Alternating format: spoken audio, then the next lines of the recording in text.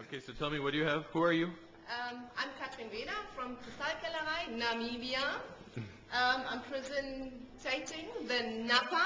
It's a grappa. The name grappa is protected. That's why we call it Napa for Namibian grappa. Isn't It's Napa protected? best- No, it's got nothing to do with the Napa Valley. It's with a double P, All right. and it's for Namibia, and it's yeah, Huh? the world's best grappa. The world's best grappa. yeah, the Comes from Namibia. The Italians don't believe it, but it is like that. All right, everybody, we're about to taste Namibian grappa.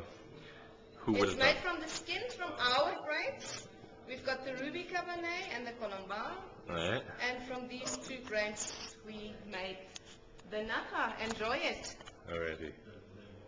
Right, I'm gonna, I'm gonna film Ryan.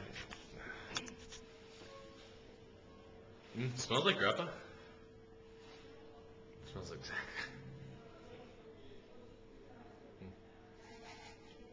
Get nice and close up. Look at that expression. Well, well, it actually is quite nice. it is. It's good, huh? Exactly. Yeah. How was that? N- Namibia. There we go. Namibian grappa. Thank you. Pleasure. Let me see the bottle again. There we go. So where do we buy this? And- In In, Namibia. in Namibia. Yeah. Come enjoy Namibia on a nice How much, how much does that cost?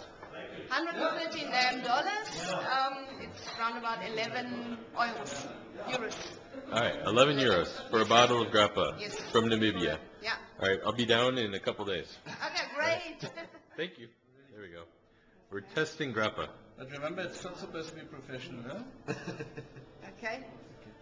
The real Italians say if you What's smell the grape, Magnifico! huh? it supposed to smell like? What's it supposed to smell like? like red.